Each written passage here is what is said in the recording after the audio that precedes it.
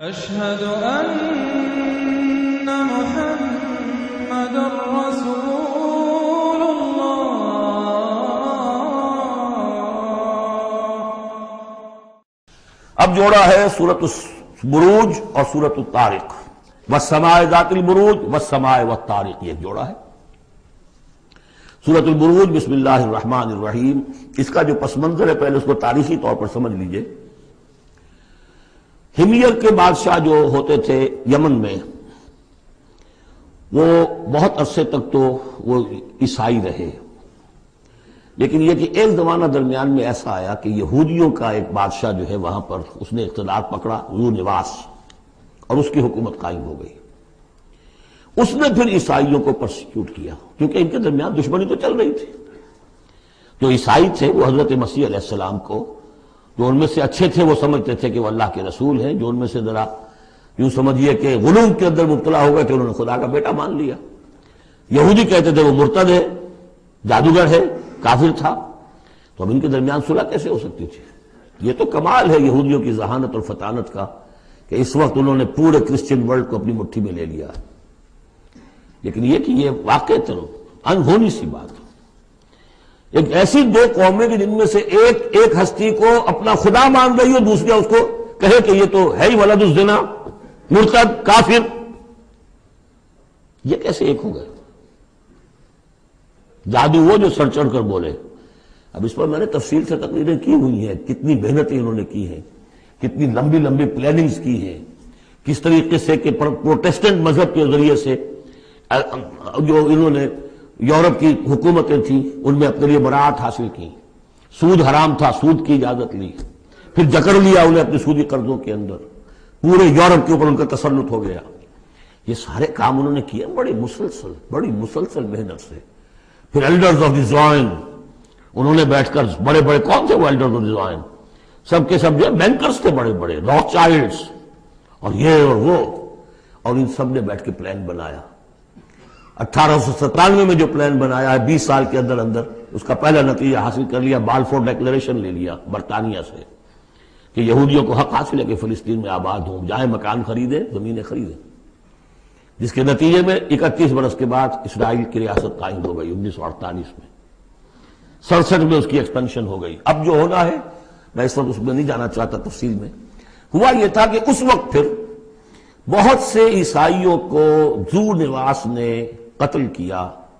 जैसे हेलोकॉस्ट इस वक्त हुआ, इनके लिए इस तरीके से एक, उससे कमतर पैमाने पर बीस हज़ार ईसाइयों को उसने ज़िंदा जलाया है आग में। और बड़े बड़े, ये वाकया हजूर की बेसत से बहुत करीब था। ये 523 ईस्वी में हुआ है वाकया, असहाबुल हदूद का। और बिल्कुल यही समझिए कि यमन में हुआ है, जो कि मक्के के जनूब में है। वो है ये असहाबुल उखदूद, बड़ी बड़ी खाइयाँ खोद कर उसमें लकड़ी का ईंधन भरकर, आग जलाई गई और फिर इनको ले जाके जो है वहाँ पर डाला गया। बस समाए जातिल बुरूज, कसम है आसमान की जो बुर्जों वाला है। वल यौमिल माऊद, और कसम है उस दिन की जिसका वादा है जो आकर रहेगा यानी क्यामत का दिन। वह शाहिदीन व मशहूद। और कसम है उस दिन की जो खुद आता है, यानी जुमे का दिन आमतौर पर समझा गया है। और भी इन कस्मों की मुख्तलिफ़ ताबीरात हैं। जुमा जो है खुद आता है चलकर हर गाँव में, हर शहर में। वह मशहूर अरफा का दिन जो है वहाँ पर आपको जाना पड़ता है। वो अरफा यहाँ नहीं आएगा। वो अरफात तो वहीं एक जगह पर होगी जहाँ पर कि हाजिरी देनी होगी। ये सारी कस्मों के बाद असल बात क्या? कोतेला असहाबुल हलाक हो गए वो खाइयों वाले। जिन्होंने खाइयाँ खो दी वैसे तो यह कि हलाक हो गए, वो जो जले हैं, जिनको जलाया गया है, हकीकत के एतबार से हलाक वो हुए जिन्होंने जलाया है। ये तो जले, इधर जान निकली, उधर गए अल्लाह के यहाँ जन्नत के अंदर। और इनका जो हशर अब होगा तो वो तो असल में तो हलाक तो ये हुए हैं। कोतला साबुलखदूद नार जातिल वकूद। वो आग जो बड़ी ईंधन वाली थी, बड़ी ईंधन से जलाई गई थी। इजहुम अलहा को जबकि वो उसके किनारों पर बैठे हुए थे। वहुम अला माया फरून अबिल मोमिन शहूद, और जो कुछ वो कर रहे थे, अहले ईमान के साथ देख भी रहे थे, नज़ारा कर रहे थे। जो चीख चहाड़ होगी, जो कुछ होगा, वो वहाँ हो रहा था। जैसे कि एक्सटर्मिनेशन प्लांट्स बनाए गए हिटलर की जर्मनी में, और उसमें वो गैस चैम्बर्स और फिर उसके बाद पटे और उसके ऊपर लाशें जा रही हैं।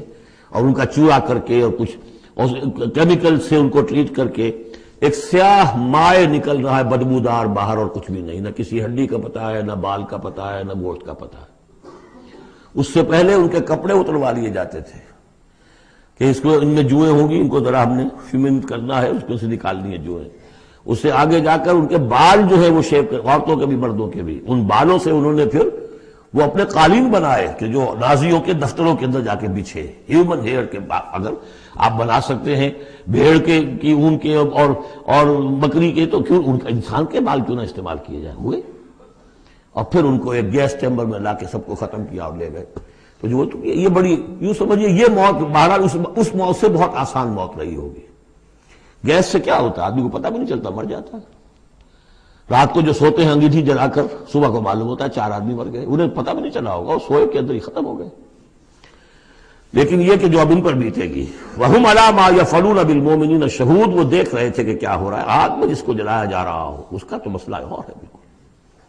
बमा नकमू मिन और नहीं इंतकाम ले रहे थे उनसे, इल्ला सिवा, मगर इसका अयो मिनू बिल्लाहिल अज़ीज़ हमीद, कि वो ईमान ले आए थे अल्लाह पर, जो ज़बरदस्त है, सतूदा सिफात है। अल्लजी लहू मुल्क समावात वल्लर्द वो कि जिसके लिए पातशाही है आसमानों की और ज़मीन की। वल्लाह कुल्ल शैन शहीद और अल्लाह तो हर चीज़ पर खुद गवाह है।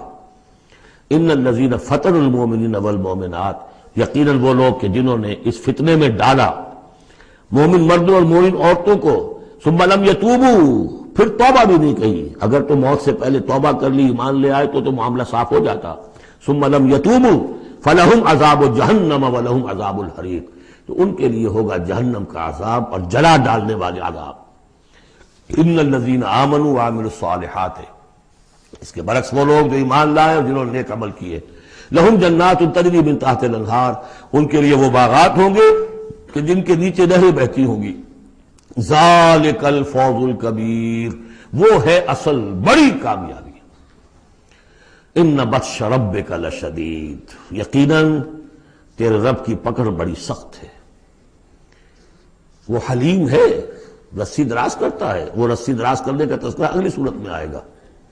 लेकिन यह कि जब पकड़ता है तो इन नबत शरब कल शदीद इन नहू हुआ युग दो वही है जो पहली मरतबा पैदा करता है, वही अदा करेगा। जब पहले बनाया, वो बाद में तो नहीं बनाएगा। वह गफूरुल वदूद वो बख्शने वाला भी है, मोहब्बत करने वाला है। जुल अरसल मजीद, बड़े अर्श वाला है, बड़ी शान वाला है। फ़ालमायुरीद जो इरादा कर ले, कर गुजरने वाला है। उसके इसके इरादे के आगे कोई रुकावट नहीं डाल सकता। हल अता का हदीसुल जुनूद, क्या तुम्हें नहीं पहुँच चुकी हैं खबरें? लश्करों की। फिर व समूद फिर के लश्कर, कौम समूद के लश्कर। बल लजीन कफरूफी तकसीब लेकिन ये काफिर जो है, ये तकजीब ही करते रहेंगे, जुटलाते ही रहेंगे। वल्लाह वराही जबकि अल्लाह ने इनका अहाता किया हुआ है। अल्लाह इनको घेरे में लिए हुए है। बल हुआ कुरान मजीद फ़ी लौहिन महफूज। ये तो कुरान मजीद है, बहुत बुज़ुर्ग और बहुत बाइज्जत कुरान जो है लौहे महफूज में असल वहाँ है। अब ये तीसरी मरतबा फिर आ गया। किताब मकनून सूर्य वाकया में। इन्नहू फ़ी उम्मिल किताब लदैना लालीन हकीम। बल हुआ कुरान मजीद फ़ी लोही महफूज।